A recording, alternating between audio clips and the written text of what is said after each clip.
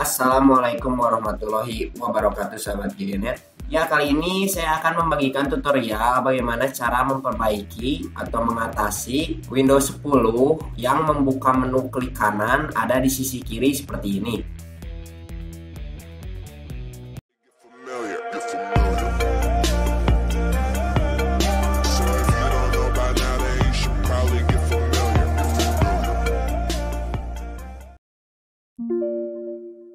Ya langkahnya cukup mudah. Yang pertama, kalian buka run di search bar, kalian tulis run atau di keyboard kalian tekan Windows key plus R.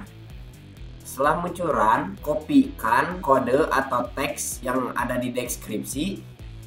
Teksnya seperti ini. Setelah itu, klik OK. Lalu muncul tablet PC setting. Kita klik di tab other setelah itu cek yang left hand. Lalu apply dan oke okay. menu klik kanan pada desktop akan kembali ada di sisi kanan. Lalu cara kedua adalah memperbaikinya melalui registry. Yang pertama kalian buka run lagi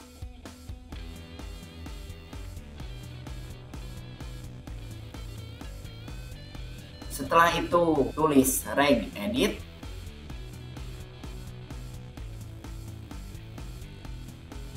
Lalu ketika muncul registry editor, kita pergi ke haki current user,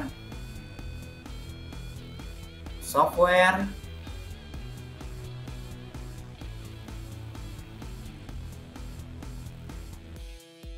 Microsoft,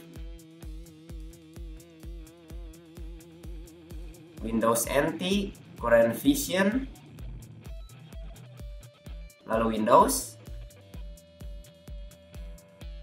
Di folder Windows ini, cari file bernama menu drop alignment. Setelah itu kita double klik, kita buka file tersebut, lalu kita ganti value datanya menjadi 0. Setelah itu oke, okay. lalu close semuanya. Setelah di close semuanya, kalian harus merestart komputer kalian. Dan setelah di restart, menu klik kanan pada desktop akan kembali ada di sisi kanan. Ya guys, mungkin sekian dulu video Gegenet kali ini. Semoga bermanfaat.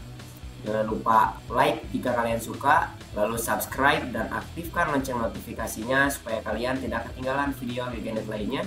Terima kasih. Wassalam.